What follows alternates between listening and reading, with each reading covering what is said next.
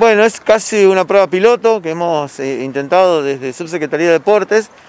porque los chicos vienen y los adultos vienen trabajando en toda la pandemia de manera virtual, con mucha pantalla, y se han detectado varios casos de, con patologías de, tipo sobrepeso, desmotivación, cambios de conducta y demás. Entonces un poco para salir de eso, con las autorizaciones correspondientes, las inspecciones correspondientes, logramos habilitar Casa del Deporte, para que muy poquitos chicos, en turnos muy diferenciados y cortitos, vengan unas, a, realizar un poco de actividad física de manera funcional.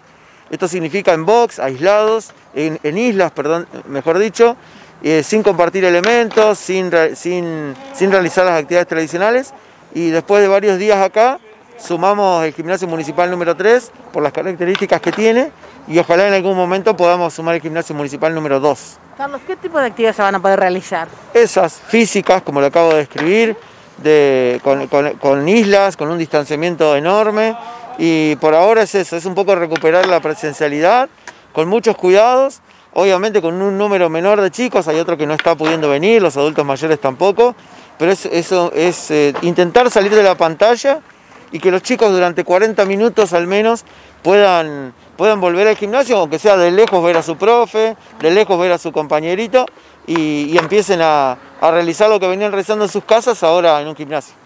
Por lo menos, como bien decía, una motivación, no que no otro tipo de deporte, pero sí esto, decir, bueno, con una colchoneta, haciendo unas flexiones, eso es lo que se va a poder realizar. Eso es lo que se puede realizar en un, en un box así bien delimitado, con un ingreso también marcado, con el alcohol en gel. Bueno, los chicos eh, realizan ese trabajo ahí con otro piso diferente que que tienen en sus casas quizás y también con la dirección de un profe que si bien está a varios metros de distancia, le está hablando casi por así decirlo en persona. Esto ha tenido que ver, por lo menos lo que uno entiende es